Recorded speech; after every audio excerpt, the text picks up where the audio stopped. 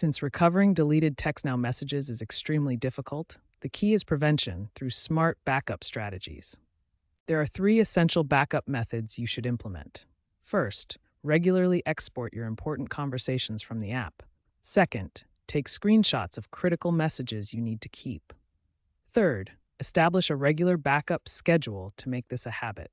When it comes to deleting your TextNow account, there's an important process you need to know about. TextNow doesn't have a simple delete button. Instead, you must submit a data rights request form, which you can see here. This is a critical warning. Once you submit this form, your account deletion is immediate and permanent.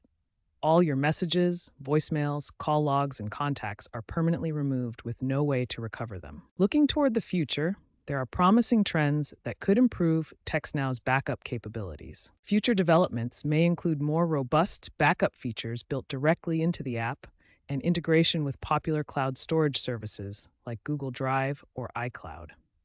However, the current reality is that options remain limited with only a 30 day message retention policy. TextNow remains a viable option for free calling and texting throughout the United States and Canada, operating on both VoIP and 5G networks. As you can see from this coverage map, TextNow provides extensive coverage across the United States with both 5G and LTE networks. The service offers free calling and texting with no monthly fees, making it an attractive option for budget conscious users. Remember, experts consistently agree that recovering deleted TextNow messages is extremely difficult without prior backups. The most important takeaway is to make regular backups a habit before you need them.